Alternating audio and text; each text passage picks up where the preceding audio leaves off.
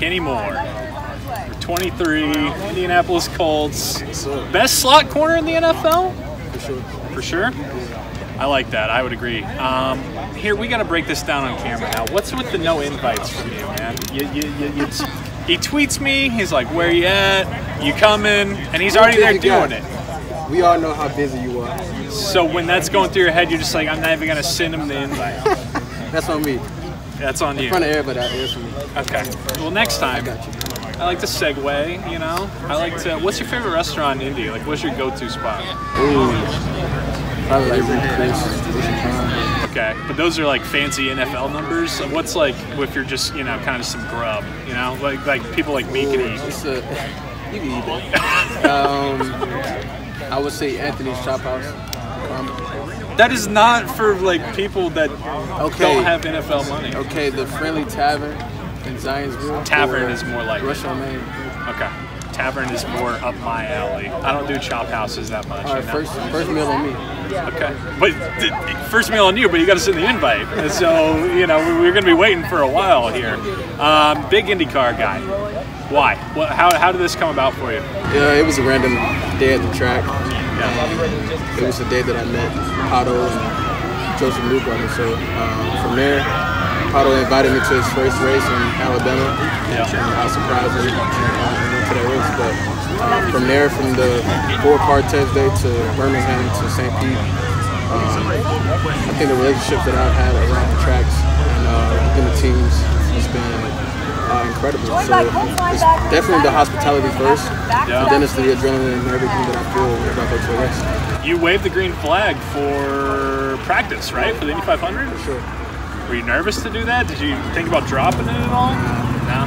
The flag grip. stand did move though. So even though you're a DB, traditionally you don't have the best hands, but you had good enough hands to hold on to the flag, is what you're saying. I got good hands. He's got good hands. Uh, is Pato going to bring home the title? He's uh, him and Alex Palou are in the lead for. Yeah, but it's pretty cool to see two young guys like that really going at it. I agree. um, you know, Alex Palou, he's pretty good. But I'm gonna give it to I'm gonna give it to my guy. You get to Pato. Yeah, And six then what did it take for you? Because he drove you up to training camp. No? yeah. How fast were you guys going? So so first he picked me up in the 620 McLaren. Okay. So he he drive that pretty crazy. Yeah. Don't let Pato fool you. So that's just like out on the interstate with a regular car. That's not like an Regular Indy car. car. Yeah, regular car. And then we hop into his two seater. Gotcha. It was quite the entrance, man. Was there any influence from Reggie Wayne to do that, or you just like, ah, Pato's my guy? I've seen I've seen Reggie's pictures and everything. Shout out to Reggie, but everything was just inspired by Lucas Oil. Nice. Could you cover Reggie Wayne and his prime? Prime Reggie versus prime you. Prime Reggie, I haven't reached my prime yet. I like this. See, man, you're always think when, when it's not to invite me somewhere, you're always thinking ahead. You got the inspirational tweets and everything. You haven't reached your prime. I dig that. That's that's good. I was thinking since we're both big IndyCar guys, it could be cool if we started an IndyCar team together. What do you think? I don't know what you think. What about maybe like 15, 20 years from now, you know, when we both have you prime money, prime money for me. I've already thought of the title. This is going to be good. What you got? Mojo Racing. Because, you know, you, Kenny Momo is your name on Yeah. Twitter. So you have Mo Momo from Kenny. Moore and JoJo. We got Mojo Racing, I like that. That's pretty sick, man. That'd be dope. What colors? Um, I haven't thought that far. Uh, Let's put a lightning bolt in there somewhere. Yeah, lightning bolt would be dope. I'm thinking some kind of like flashy colors, like you know. that. So it's like turning heads. People don't have to be like, "Who is that?" And that? Oh, it's Mojo Racing. Duh. Yeah, I like that. You know what I mean? Um, have you talked to Andrew Luck recently? No, Did you talk to him a lot when you guys were playing? I mean, you know, here and there. But Yeah, I haven't talked to him. Yeah. Have you heard my impression of Andrew? I think I have. I think I like the Saban one. You like the Saban one better? Saban. But do you think do? I have heard the, the Andrew Luck one. Yeah. What what grade would you give it? Pretty spot on. Pretty good. Yeah. Kenny Moore. Uh, I'm glad he's on the other team. um, good. I'm glad you like that one. Can you do any impressions?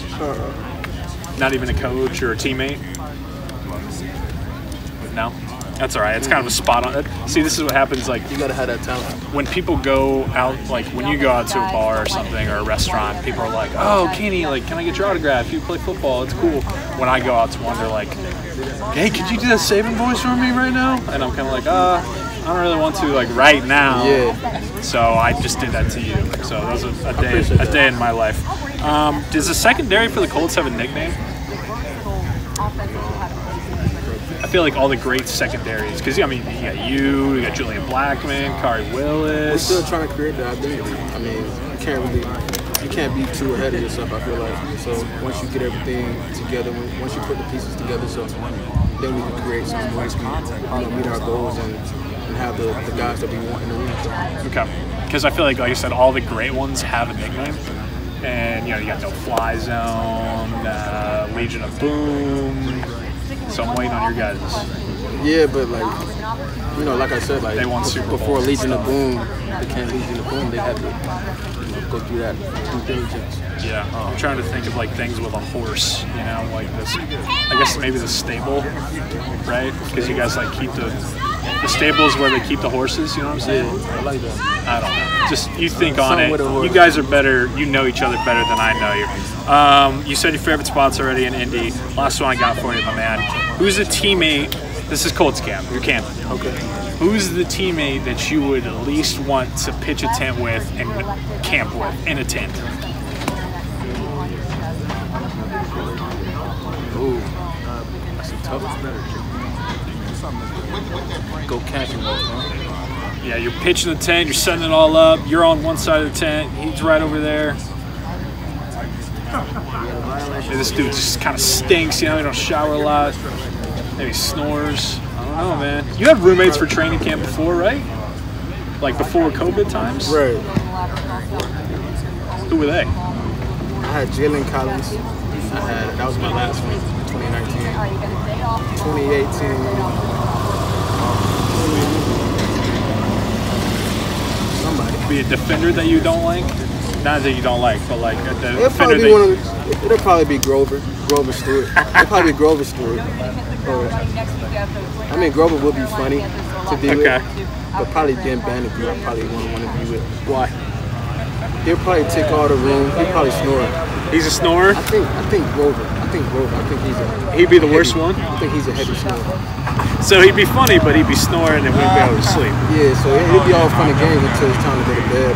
He he'd probably keep me up all night, take me all the room, take all the cover and stuff like He's that. a D lineman, so like he probably kind of stinks a little bit. Yeah, I probably have to have my own. You, you seem kind of like your own tent kind of guy, but that's not a bad thing. You know, you, you go to chop houses, so you're definitely your own tent kind of guy. We gotta go, man. We gotta go. I'm, I'm telling you, the invite, we'll do it. Hey, great talking to you, man. Always. Let's